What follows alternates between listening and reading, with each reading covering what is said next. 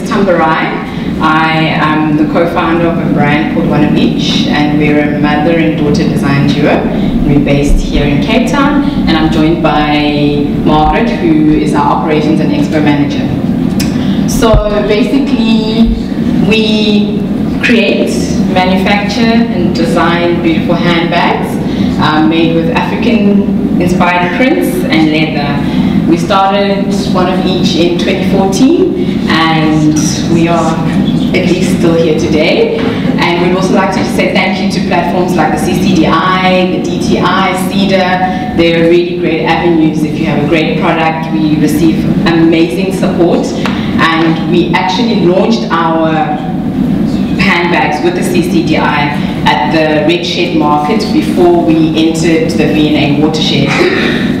And yes, we're still around. So I'm just going to give you an authentic um, description of what we've been through based on all the expos that we've attended.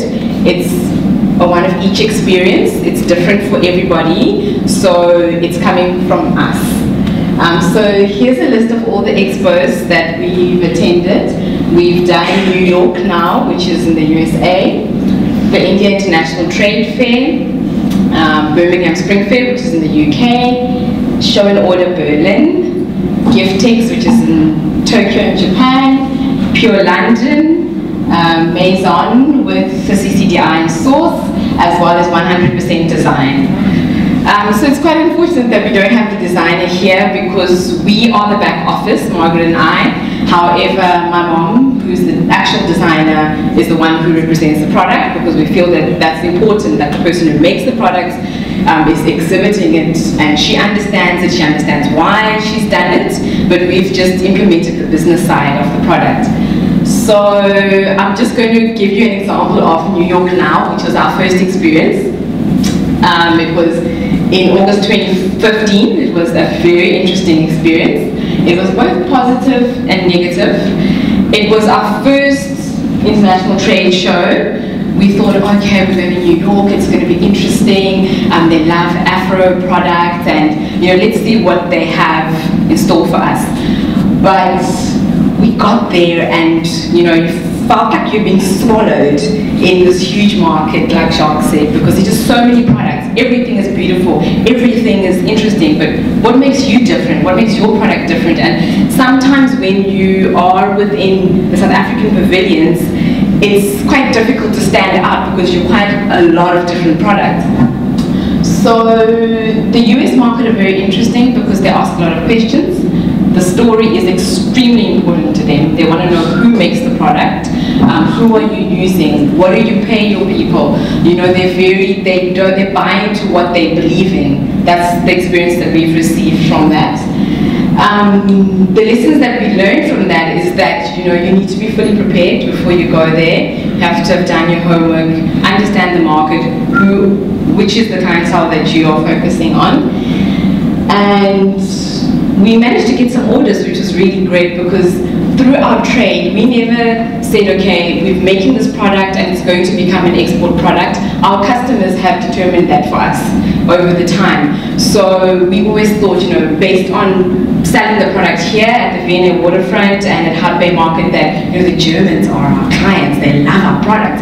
But if we look at now having exhibited in New York now, which was um, August 2015, we've realized that the US is actually our biggest market.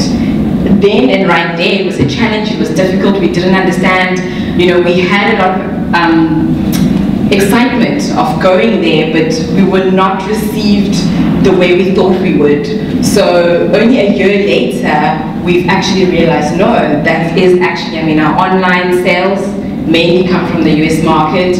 We've received great interest from the embassies because it's also been great where the DTI and some of the expos would arrange for the embassies to come through and see what you're doing and you know that kind of thing. So I'm going to give over to Margaret to just give you and from the lessons that we've learned. Oh, okay. Let me just say from from that we managed to supply the um, Washington DC Textile Museum. So they're one of our clients and they've been buying from us since 2015. So that was quite nice and we've just, you know, we're growing our market as we go. So I'm going to give over to Margaret to just explain to you the lessons that we've learned and how we've implemented planning and preparation for these shows because that's the most important thing, you know, and yeah, I'll give over to Margaret.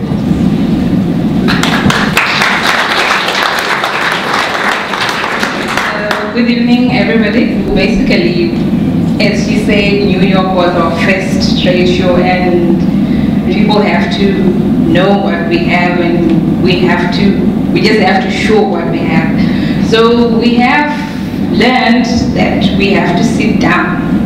The moment that we apply for a trade show, we don't know if we're going to be accepted or not. So we sit down, Tamarai and me and Pauline, and then we just look at our objectives. What exactly do we want to get out of this? So we want to know why are we going there? Why do you want to go to the trade show? And then we want to know the outcomes and who exactly do we want to meet. As we are here now, basically, we always say our biggest market, they're tourists. Our brand, like, is not well accepted by the locals, but then we get so much love from the people who are coming from out there. So with this trade then it gives us that opportunity to go there with our product and then they see it. And we've actually learned that most of the people that buy our bags, maybe from Watershed or Hout Bay, and then when they hear that we are in the UK, they're the first people who come there. So it's like we have created that relationship from home, but then when we go out there, then they're all over the place with the product. They tell their friends and, oh, Okay, pass. Okay, I'll pass over the next. So, and then we also have to do a little bit of research on the trade show that we have to, that we have applied for. So we want to know who are the organizers, the organizers of the show, the kind of people that come to the, that come to the show, and Oh, wait, okay, sorry. so also when we are doing our research, then we also need to have some contacts because we all maybe have people that are there already. So we just tell them, we basically use our social media network then to just say we're going to be in pure London or wherever in the next two weeks and all that. So the preparation also has been so we have actually also when we do the preparation we know the if it's a selling show or if it's just an exhibit then we know at least how much stock are we going to take with. We're not going to take a lot of stock when it's only not a selling thing and then so we decide. And then we've actually learned that from the customers. We when we do our when we're supporting our product we get to understand the kind of prints that maybe the Germans want or maybe the, the Americans want. We now know that if I have a bright, very bright color, the Germans probably won't go for that, but then maybe an American person will take that. So we now know then when we're sourcing, when getting our fabric for a trade show, we know the kind of fabric that we're going to get and even the color of the leather that we're going to buy. So that is actually also helped us on what kind of stock we are going to take with and how much we are going to take them. And also when we're doing the preparations, we know that maybe we're going to get some of the banners or posters and all that, but then we also make a budget by ourselves to do our own things. We have our posters ready, we have our banners ready, and we just make sure that Pauline, as we have Pauline, the creative designer, she is the one who always goes to all the trade shows. So we don't want her when she gets there to be like, oh, I don't have this or I don't have that. So we make sure that she is everything and then she's not going to say, you guys, you didn't put this for me or anything. She has, she has everything and she has to be able not to stress about, okay, where am I going to get this or that. So we just make sure that we have everything stationary for everything. We make sure that everything that she will probably need, she will have that. So it is actually something that we have learned because on our first trade show, we didn't know about all those things. So when she went, then she would also see other people, but then, you know, when she communicates with the other exhibitors, then she knows, okay, then the next time she comes, okay, you guys, I'm going to need this, this, this, this, and then we make a we make a checklist of all the things that she has learned, and then we know that on our next trade show we have to look at these things so that she is well prepared when she goes there. And okay, and then we actually also faced another. It wasn't a problem. It was maybe it was when we went for the Giftex Giftex Japan. There was like a language barrier, and it's something that we didn't expect. We just used to this English thing, so we.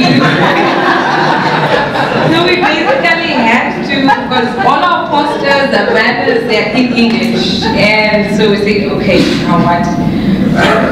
Generally, even up to now, most of the customers that we have got from Japan, even if they're sending us their invoices, they're all in Japan. Sometimes they don't even So we had like to do a translation of all our postcards and everything. And then we said, okay, what are we going to do? Google Translate. And when then sometimes it doesn't make sense. What you want is not the exact thing that is going to come out. So it was like, oh my God, is this thing the exact thing that we want the people to, to like to know about our product? But then it was something that we managed and it came out perfect and we were very happy about that show as well. so, yeah, that is basically, can, um, I think um, Margaret also forgot to mention that um, because we're a team of three, what we always try to do is we send Pauline so she can focus on selling her product and her talent and what she does. Then, as she is there, we try, we make sure that our communication is correct. So as she's getting leads and business cards or whatever, she would send them to us right there and right then, and we would follow up immediately. And that automatically shows that in Africa we do have a sense of professionalism and we know what we're doing. Um, so that's one of the things that we've done. Um, oh, so it's all very well where the DTI, CDC, CDI, and you know, SEDA, they provide these platforms for you. But what we've learned is that you need to take ownership of it. You need to make it worthwhile for yourself because most of the time, obviously, you face challenges. They don't all understand our products and what we do. But through the lessons that we've learned, we've decided that on every trade show that we go, we'll take the initiative to do other events on our own. So when we, I personally went to Pure London, in July, and then I held a pop-up shop at Spitalfields, London. So I did a market there because I mean, when you're at the trade shows, it's a business-to-business -business interaction. There aren't really many, you know, business to customer. So that's how we've always marketed our product through selling directly to the customer. And we've always been curious to say, okay, how does the actual customer receive our product? Not the buyer, but how does the customer receive it? So we did, sorry, the pictures are a bit pixelated because I just had too many. Um, so we did um, the Spitalfields market and this, I can tell you, was the power of social media because we had people who came from different cities within the UK to come and see our product, who I didn't even know. So we found that really effective, really interesting, and really beautiful that people that you actually don't know, but just based on, you know, when people buy your product here, and you know, you, our, our brand is very customer focused. I mean, we really like, um, we make sure that we we, we give shine to our customer and that's been the result for that. And we made instant actual money because we were selling directly to the consumer. So that was really nice. Okay and then um, I think it's interesting because when you are exhibiting at these trade shows what Pauline has realized is that from handbags she, you know, she's now decided to tap into a different product because people were always like, I mean, those are the bags that we make, but is that all you make? you know, but we've had such a huge demand of that product that we haven't had the ability or the time to design another handbag. So it's working and for now we're keeping it that way because it's easier to sell. It's it's a bag that you know that's rotating nicely with regards to a product that moves well from a business side of things. But we've moved on to homeware as well. So we've started doing like couches and chairs and cushions and Pauline has sort of developed that interest through all of the travels and the inspiration that she's received. And we managed to launch, you know, some of our homemade products at Maison and 100% design, and that was just also received quite well. Um, we've received really good orders from 100% design, which she was at recently. But yeah, I mean, that's what we've been doing, and that's what we each. Uh, Pauline couldn't be here today, but yeah, she's a really great designer. She's she's amazing. She knows the products and she understands it. And we still think that we, it's a journey. Like we we have we're not successful yet. We will only be successful. I think you know we've had like publications in the New York Times and all those things. But I think success is when you manage in within your own industry to grow your team. That's when we would say okay, we're receiving um, good enough sales and good enough revenue to grow employment within design and within South Africa, that's when we can say we're successful. But right now, it's we're planting seeds and we hope that we will receive those rewards at a later stage. Thank you.